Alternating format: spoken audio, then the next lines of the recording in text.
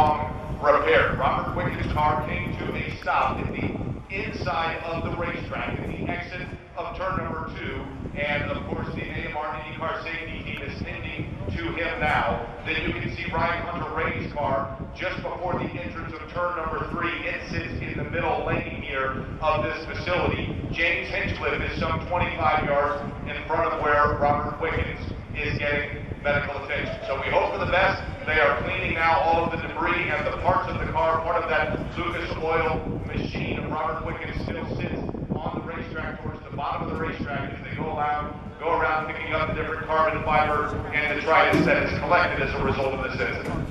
And as we speak, Andrew Crow, we're getting a look at the replay now. We see uh, Ryan Hunter-Reay and Wickens going side by side. Yeah, it's, it's, oh, it's the worst of circumstances. You can imagine what oh, that impact for Robert Wickens is absolutely horrific. And it all starts with being, oh, boy, oh boy, oh boy.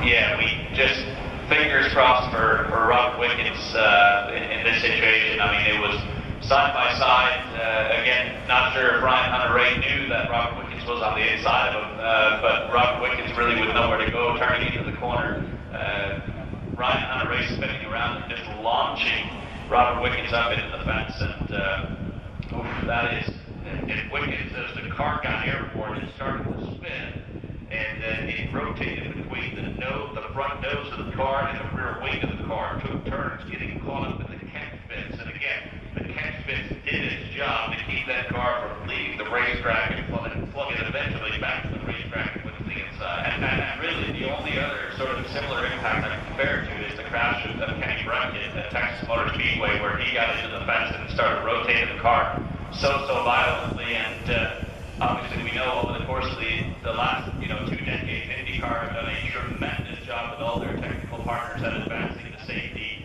in every department. Uh, you know, in, in the case of the End, we see now actually Robert Wickens being extricated from the car. Uh, we see him with some sort of device on his neck to stabilize that. So that is the, the biggest area of concern here. Again, don't want to speculate anything, but uh, certainly see him slowly but surely being extricated from the car. Yeah, and uh, we saw members of the safety group uh, going along, uh, to note is they were going along the separation between the old retaining wall and the safer area. There was debris that fell down in there, and they were pulling pieces of debris out, especially at the point of impact when the bit was the most heavily damaged. Yeah, for sure. And uh, yeah, it, it, we know we know it's going to be a, uh, a long repair here, but uh, at the same time, the only thing we really care about at this point is Robert Wickens as they're now putting him onto onto a stretcher. And uh, again, fingers crossed.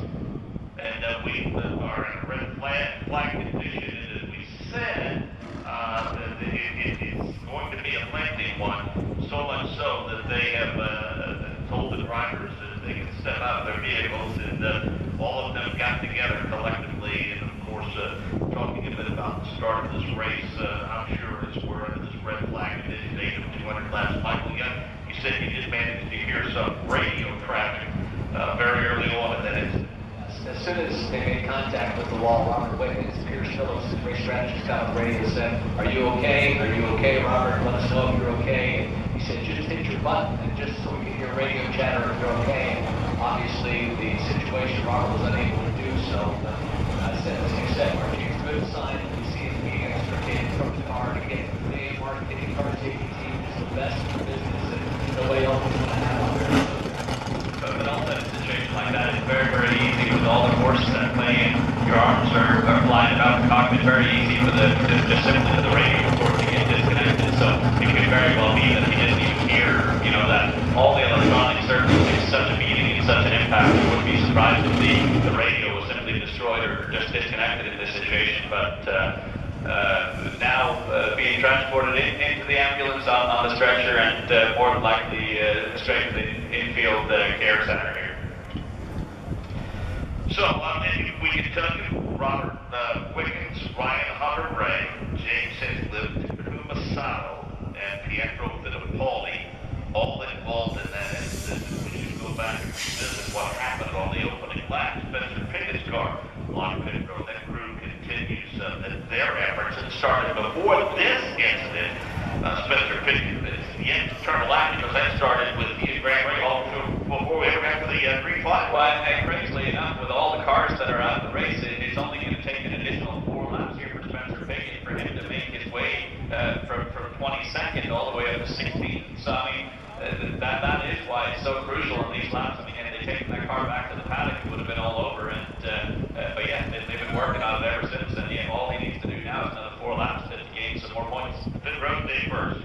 Here with Scott Dixon as uh, all the drivers have climbed out of their machines now, keeping a close eye on the experience here and, and uh, listening certainly to the uh, IndyCar radio. What did you see, Scott?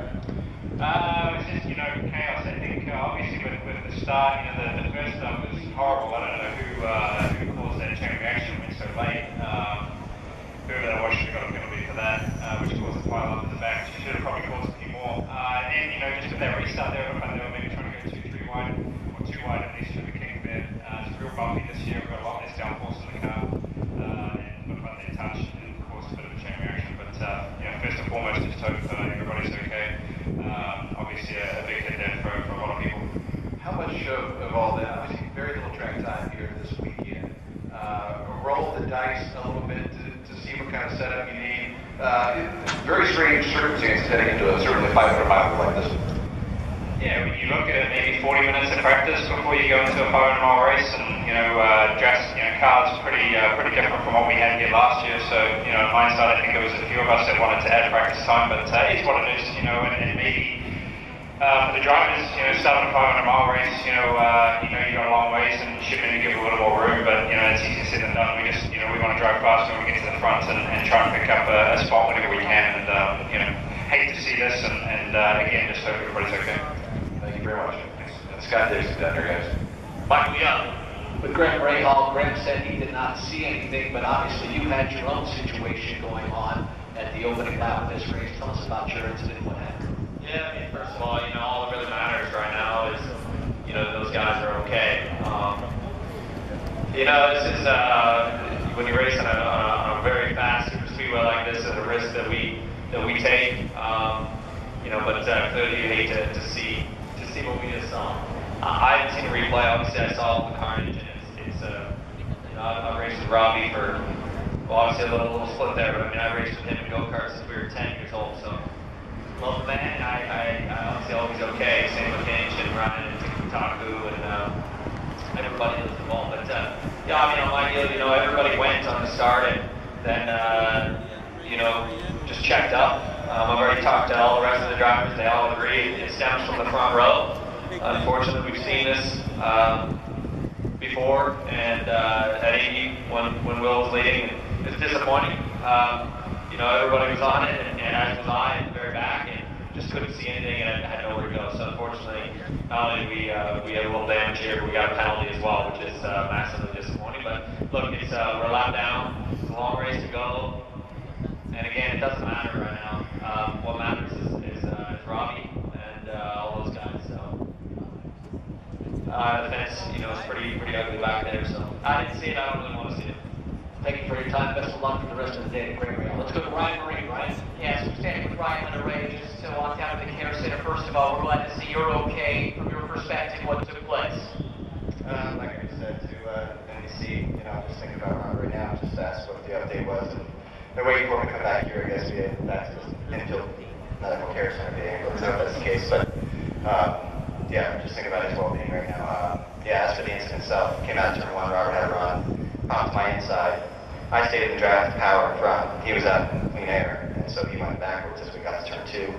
I pulled along forward, and he was at my left rear tire at best. So um, there's no reason that um, I would think about giving up the corner at that time. So what I did was I just I, I gave him the bottom. I, I ran a bit wide, left uh, three quarters of the lane, the lane down there just for some margin of error, and then um, yeah, I just got hit behind the next thing in the wall. So uh, neither here nor there at this point. I'm thinking about you know Wicken's uh, well-being. So hope he's uh, hope he's all right.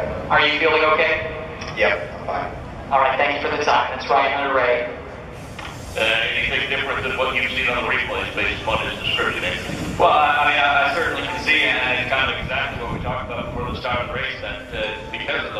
The turn two What? really is, is a one. Uh, I'm in uh, 212. Well, I'm actually a couple uh, sections you know, by he- he 212. From this point, wants to, you know, keep from being up in the gradient and washing up. So it, Uh, it, turn- it- I'm actually by turn, those things where like the pit- be some give pit and take, and exit. uh, didn't look like there was much, uh, you know, Yeah. from either side. On, on, Sorry, I- I'm re- I'm recording something right now, so I can't really which talk. Is, which is unfortunate. So I, but I definitely turn in at some point, and uh, Robert probably Yep. uh, not having done racing around here probably yep. you go easily uh, too, too wide around there. So, so I'm uh, going to go and just, continue just recording. It's a big shake, but again, to run on a race point, uh, here or there, uh, just over uh, for the best of at this point. Out of the the